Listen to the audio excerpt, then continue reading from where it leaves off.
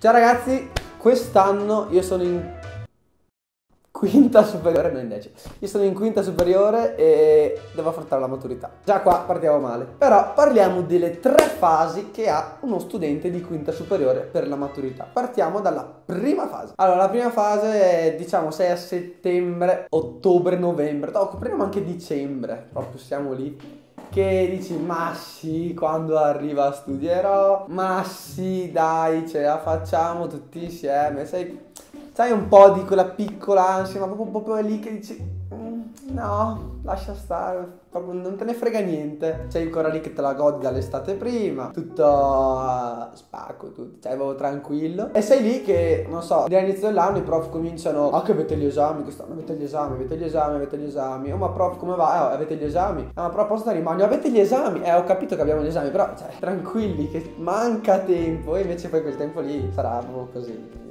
finisce, finirà subito, fidate. I consigli che anche i miei genitori mi davano al tempo, a, a, a ancora a settembre, fanno Mattia prendi tutti gli schemi, così quando arriva la maturità hai schemi appunto per studiare, perché la maturità sarà appunto, per esempio l'orale, è su tutto l'anno, ok? Quindi dovrei portare tutte le materie di tutto l'anno, veramente cioè, se ci penso adesso è impossibile da studiare se non hai studiato tutto l'anno, se non ti sei fatto gli schemi, a meno che non vuoi farti le notti a morire, però non ve lo consiglio. E io, come la maggior parte, il 90% degli studenti, ah sì gli schemi, ah sì studiare bene. Quindi sei arrivato adesso che siamo in una crisi totale, però ne parliamo nel prossimo video. Poi pensate che a scuola mia, tipo il prof italiano è mancato per due mesi, quindi eh, tipo italiano e storia veramente, cioè, tipo adesso arrivati alla fine e per chi come me in quinta siamo arrivati in storia per esempio solo fino alla guerra fredda che fidatevi è molto poco. E in italiano non ho fatto nemmeno Ungaretti nemmeno Montale quindi c'è proprio lo schifo più totale però vabbè. Quindi